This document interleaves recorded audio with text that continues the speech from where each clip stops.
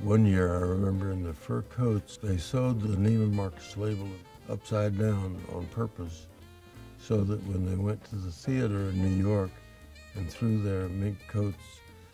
on the back of the seats in, in the theater, individuals sitting in back of our customer would be able to read the Neiman Marcus label